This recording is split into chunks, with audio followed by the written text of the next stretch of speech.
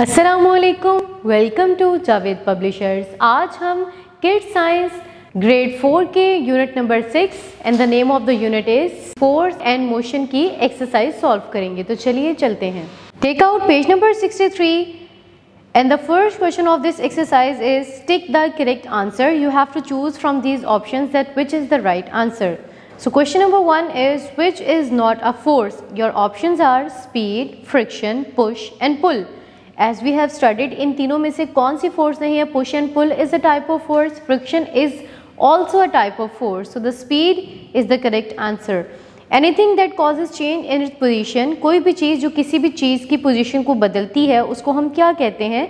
Distance mass force और movement so the right answer is movement a surface that has less friction is rough smooth hard और bumpy ऐसी surface जिसके ऊपर less friction होगी, वो किस तरह की सरफेस होगी? रफ होगी स्मूथ हार्ड या bumpy yes you are right the correct answer is smooth number four statement staircase is an example of and your option are lever inclined plane screw and pulley so the right answer is inclined plane turn on your pages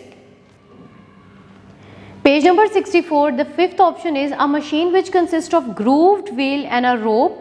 एक machine जिसके अंदर उभार वाले wheels होते हैं और उसके साथ एक रस्सी होती है, उस, वो कौन सी कैटेगरी की मशीन है?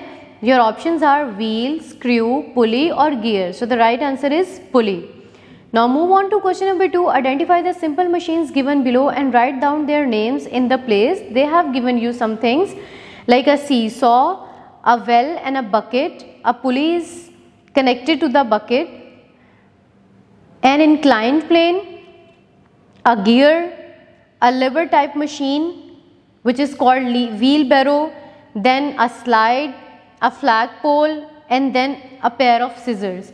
You have to find out that which kind of simple machine it is. Read the chapter thoroughly again and then do this activity by yourself. Now move on to question number 3. Write short questions.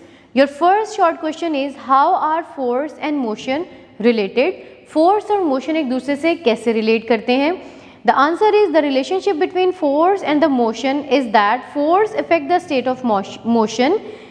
It can cause it to stop. Question number two, define friction. Friction की तारीफ़ बयान करें। It is a force that stops और tend to stop moving object ऐसी force जो किसी भी चीज़ को रोके या रोकने की सलाहियत रखती हो।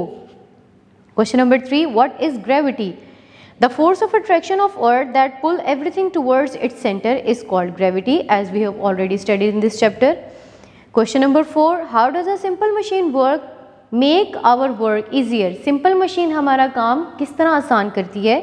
So the answer is the machine by changing the amount and direction of a force makes our work easier. The last question is how does a pulley work?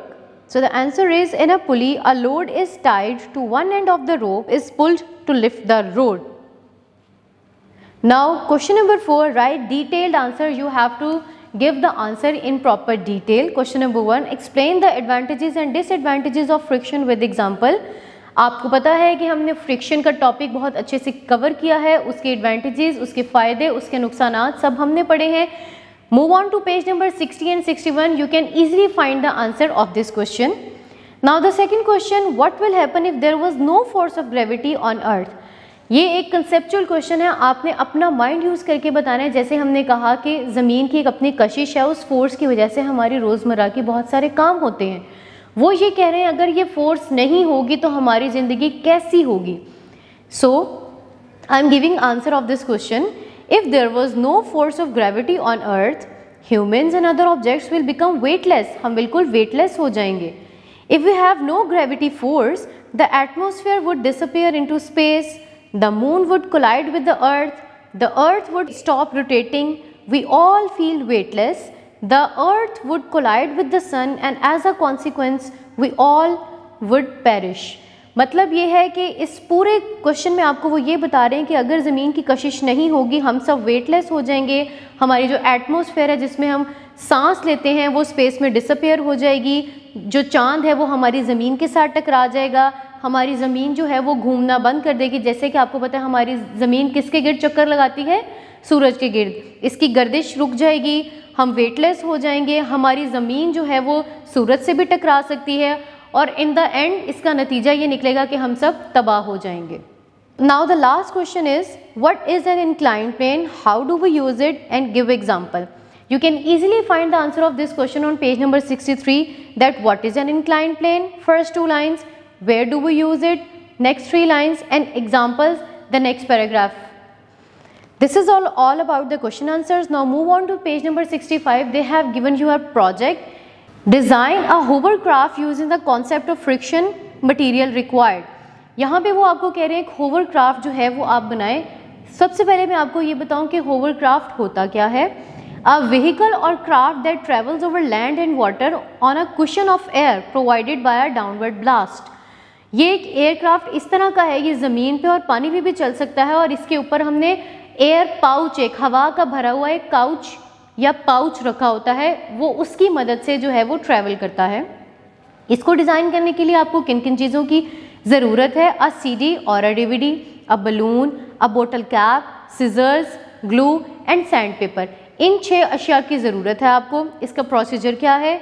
Use scissors to cut the top of the bottle top use sandpaper to roughen the circumference of the narrow opening of the bottle top यहाँ पे वो आपको ये कह रहे हैं कि आपने जो फ्लिप टॉप फ्लॉ ऑफ़ है, वो एक बॉटल का वो उतार लेना है। कैंची की मदद से आपने एक सैंड पेपर लेना है और इसकी जो सरफेस उसका सर्कल है, उसको थोड़ा रफ टेक्सचर में करना है। उसको, उससे आपने क्या करना है? रब करना है।